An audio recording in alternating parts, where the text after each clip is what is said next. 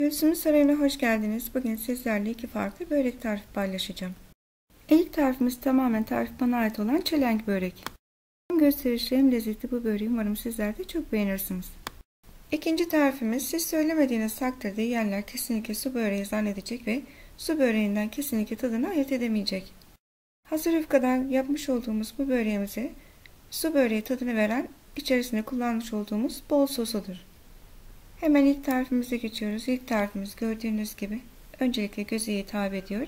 Sunumuyla harika, tadıyla nefis, içi bol patates dolgulu çelenk börek. Bu tarifte kullanmış olduğum malzemelerden iki tepsi çelenk börek çıkıyor. Şayet bir tepsi yapmak istiyorsanız vereceğim malzemelerin sadece yarısını kullanınız. Kullanmış olduğum bardaklar küçük boy su bardağı, bardak ölçüm 150 ml su alıyor. Hemen tarife geçiyoruz. Yarım bardak ılık su, suyumuz mutlaka ılık olmalı. 1,5 paket kuru maya, 1 yemek kaşığı toz şekerini ilave ettikten sonra çırpma teliyle çırparak mayamızı güzelce eritiyoruz. 10 dakika bekletiyoruz. 3 tane haşlanmış patates. Patateslerimizi haşladığımız gibi sıcak sıcak kullanırsak daha iyi olur. Haşlanmış patateslerin kabuğunu soyduktan sonra rendeliyoruz. Rendelemiş olduğumuz bu patatesleri hamurun içerisinde kullanacağız. 10 dakika bekletmiş olduğumuz mayamızın içerisine 1 su bardağı yoğurt 1 su bardağı sıvı yağ 2 yumurta yumurtanın bir tanesini sarısının üzerine ayıracağız. Ben yanlışlıkla beyazını ayırdım. 2 tatlı kaşığı tuz da ilave ettikten sonra hepsini birlikte güzelce çırpıyoruz. Haşlayıp rendelemiş olduğumuz 3 patatesi ilave ediyoruz ve patatesle hepsini birlikte güzelce karıştırıyoruz. 5,5 su bardağı unu azar azar ilave ederekten bir taraftan da karıştırıyoruz.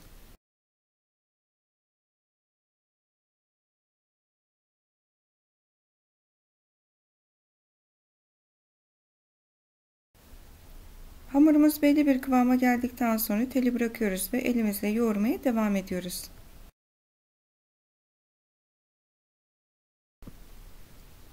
Yoğurdukça kıvamını alacaktır. En az 2-3 dakika tam kıvamını alması için yoğuruyoruz. Üzerine streç foli veya da temiz bir bez kapataraktan yarım saat bekletiyoruz. Bu arada iç harcını hazırlıyoruz. Ben 4 tane haşlanmış patatesi gördüğünüz gibi küçük küçük doğradım. 2 tane küçük küçük kesmiş olduğumuz soğanı ilave ediyoruz. 1 kahve kaşığı tuz, 1 çay kaşığı kırmızı toz biber, 1 çay kaşığı karabiber, yaklaşık 4 yemek kaşığı sıvı yağ da ilave ettikten sonra bütün malzemeleri birlikte karıştırıyoruz. Bu arada kameranın çekme düğmesine basmayı unutmuşum. Yapmış olduğum hamuru 4 parçaya kestim. 4 parçadan 2 parçasını bir tepsiye, diğer 2 parçasını da diğer tepsiye kullanıyoruz. 4 parçadan sadece 2 parçasını bu tepsi için kullanacağız. Parçanın bir tanesini gördüğünüz şekilde uzunlamasını açtım. Enini de biraz genişletiyoruz. Hazırlamış olduğumuz patatesli harcımızı uzunlamasını ortasına koyuyoruz. Kenarlarını içe doğru kıvıraraktan iki ucu birbirine birleştiriyoruz.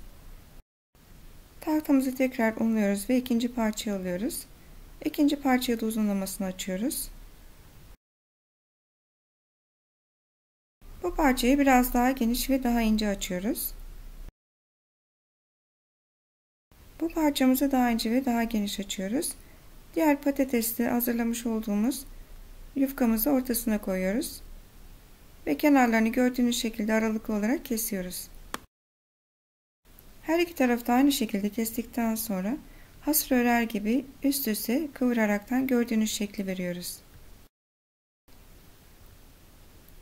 Şayet yaptığımı dikkatli bir şekilde izlerseniz sizler de kolaylıkla yapabilirsiniz.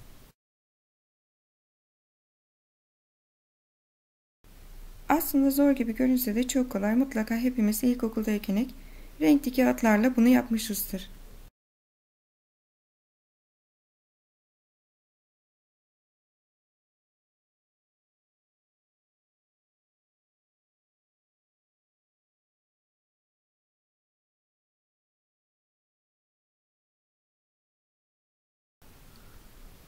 Gördüğünüz gibi baştan sona aynı işlemi yaptık.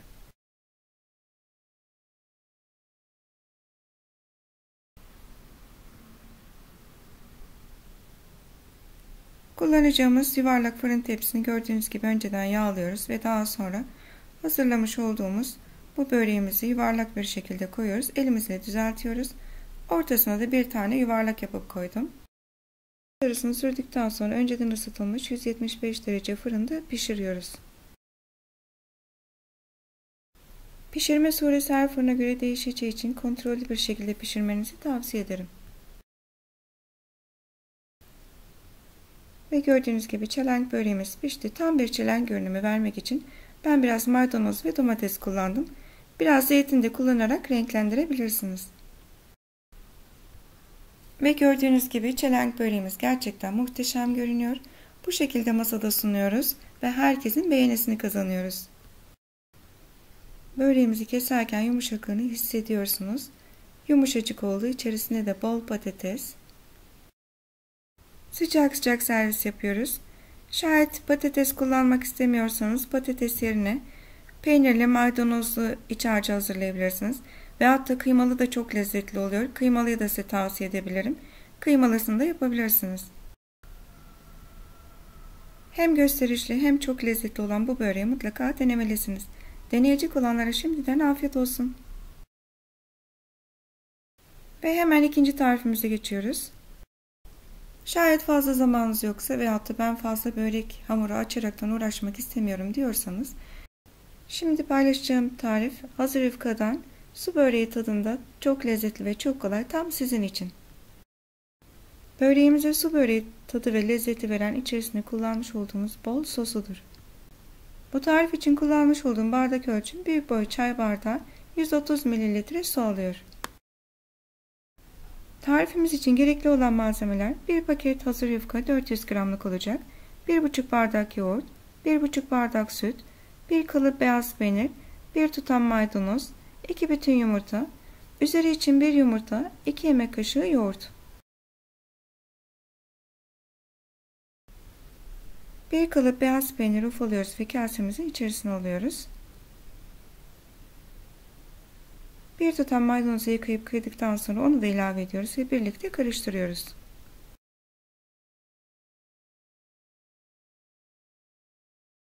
Bir buçuk bardak süt, bir buçuk bardak yoğurt, yarım bardak sıvı yağ, iki bütün yumurta kırıyoruz ve hepsini birlikte güzelce çırpıyoruz.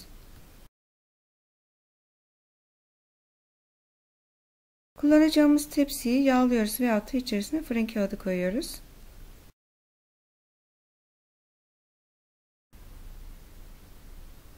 Yufkanın üzerine tepsimizi koyuyoruz ve tepsimizin kenarlarına göre kesiyoruz. Benim kullanmış olduğum tepsi gördüğünüz gibi küçük bir tepsi. Şayet büyük bir fırın tepsini yapacaksanız kullanacağınız yufka 800 gramlık olmalı.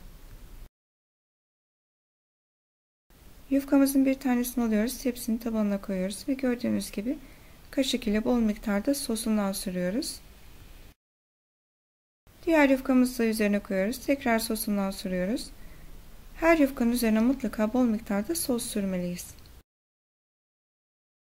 Hazırlamış olduğumuz peynirli harcımızdan serpiştiriyoruz. Tekrar üzerine yufkayla kapatıyoruz ve tekrar sosundan sürüyoruz.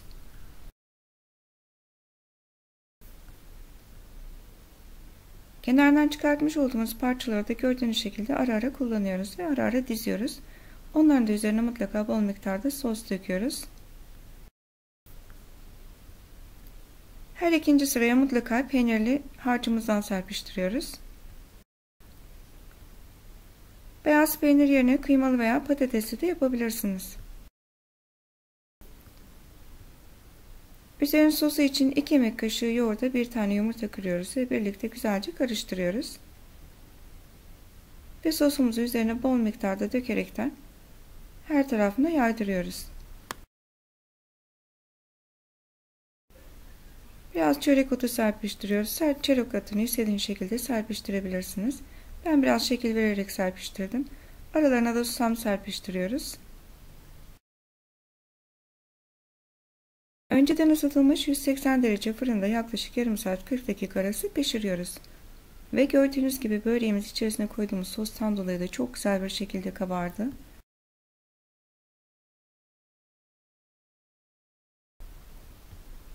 Ve böreğimiz mis gibi kokuyor. Hemen sıcak sıcak kesiyoruz ve gördüğünüz gibi puf puf oldu. Keserken dahi bunu hissediyorsunuz. Böreğimizin bu kadar güzel kabarmasının sebebi içerisine koymuş olduğunuz bol sosundan dolayıdır. Sosunu kesinlikle bol miktarda koymalısınız ki böreğimiz kuru kalmasın tam su böreği lezzetinde ve tadında olsun.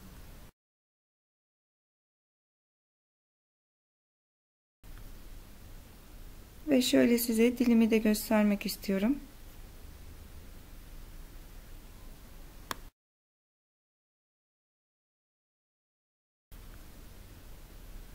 Ben bu böreği yaptığımda mutlaka yanına fırında sütlaç yapıyorum. Sütlaçla yemesi gerçekten inanılmaz lezzetli. Mutlaka sizlerin de denemenizi tavsiye ederim. Sizler de yanında tam kıvamında fırında sütlaç yapmak istiyorsanız YouTube sayfasına Gözlüğümü Sarayı fırında sütlaç yazdığınız takdirde tarifini alabilirsiniz. Şimdi hemen böreğimizin tadına bakalım. Gördüğünüz gibi keserken de puf puf yumuşacık. Bunu hissedebiliyorsunuz. Şöyle bir de tadına ve kıvamına bakalım. Yerken kesinlikle su böreği tadını alıyorsunuz. Hiçbir farkı yok. Çok lezzetli ve nefis oldu. Hele bir de yanında böreğimizin tadına tat katan fırında sütlü açta nefis oldu. Mutlaka denemenizi tavsiye ederim. Afiyet olsun. Kalbinizden sevgi, ağzınızda tat, mutfağınızın bereketi hiç eksik olmasın. Yeni tariflerde görüşmek üzere, hoşçakalın, sevgiyle kalın.